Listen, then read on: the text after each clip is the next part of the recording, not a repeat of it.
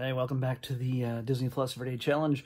And uh, today we have 101 Dalmatians, the original 1961 version. Um, not the one with uh, Glenn Close, I think Glenn Close. Yeah, uh, not the remake. This is the original animated version, and uh, yeah, it's it's a it's it's a very simple film, but it's beautifully animated, and uh, it's got it's clever and it's cute and it's actually a little horrifying at times as well. It's, again, this is 1961, so times are a little bit different there. Uh, there is um, a lot of smoking in this, so they, it gives you warnings. Uh, there's depictions of smoking uh, in the in the corner when when it starts. Um, there's an awful lot of smoking between uh, our main uh, human character, um, Roger, and uh, Cruella. Uh, they are both heavy smokers. It's kind of kind of cute in an old timey way. Um, but in it, other than that, the uh, it's it's a it's a razor thin plot. Um, it, it, again, these are not. I'm not denigrating this movie at all. I'm not saying this is a bad thing. This is is meant for meant for kids, uh, families, and it's meant to be just uh, a thrilling, fun good time with adorable puppies, adorable Dalmatian puppies. Um, I honestly, I, I, am sure I saw this when I was a really, really little kid, but I've never had a reason to see it uh, in my adult life.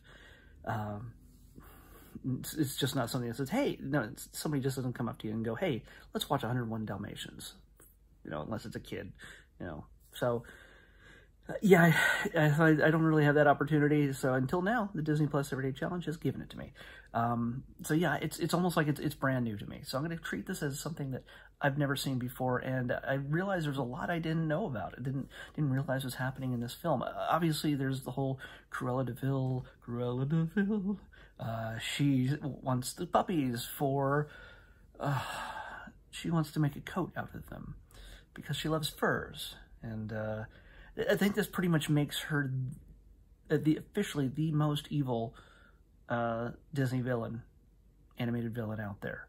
I mean, sure, there's Thanos over the Marvel Universe and Darth Vader with Star Wars, and you, you got other Disney villains who are trying to steal steals Ariel's voice in order to give her legs, and, you know, there's, there's all sorts of meanies and baddies, but this woman wants to kill and skin puppies.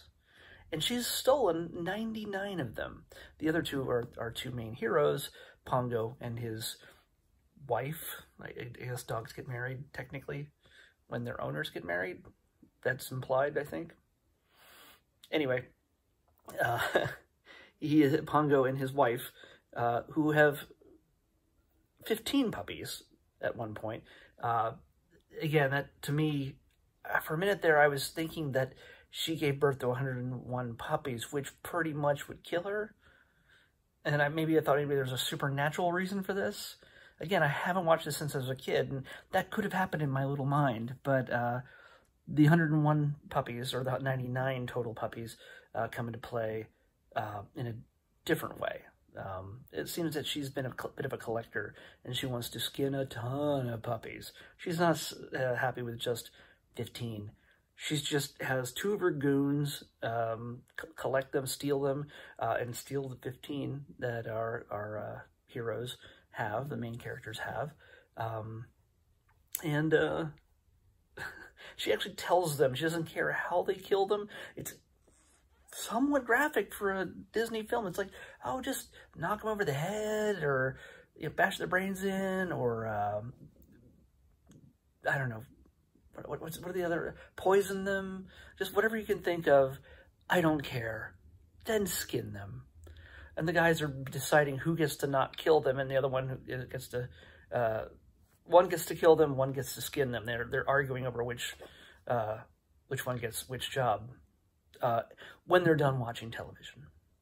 There's an awful lot of television uh, watching in this. The dogs are even fascinated by it, one in particular.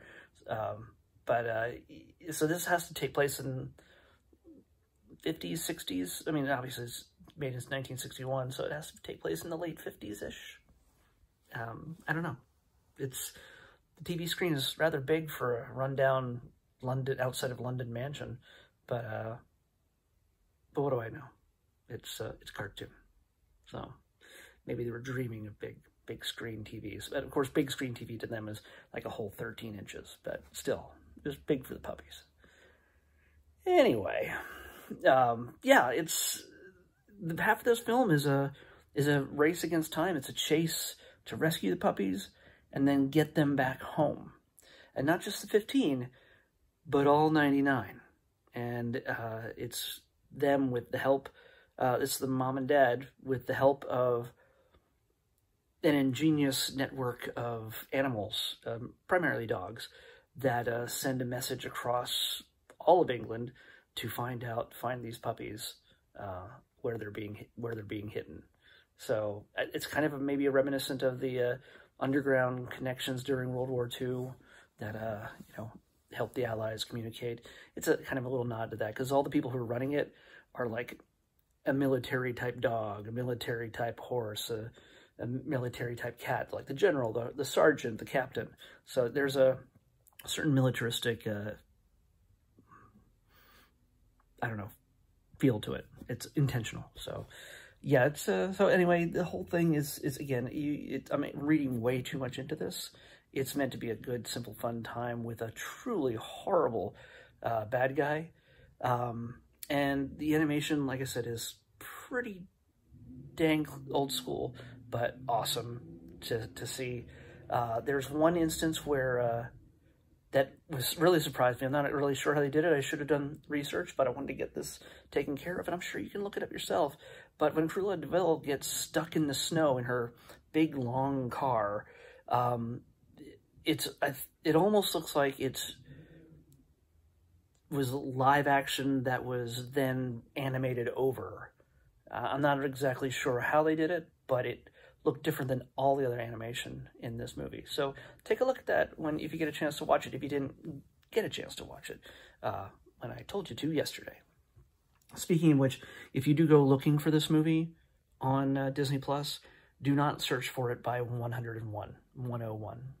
You're not going to find it. I almost had to come back and say I can't find it, but I looked again, and uh, if you search by Dalmatian, D-A-L-M-A-T-A I-N I-A-N, Dalmatians, if you look by Dalmatian, you will find it. Weirdly, 101 finds everything related to these movies except for the original, which is just weird. It'll bring up the remake 101 Dalmatians, but it won't bring up the original.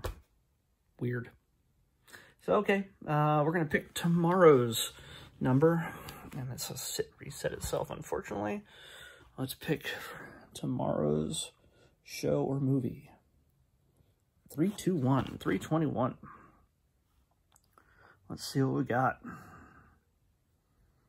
321.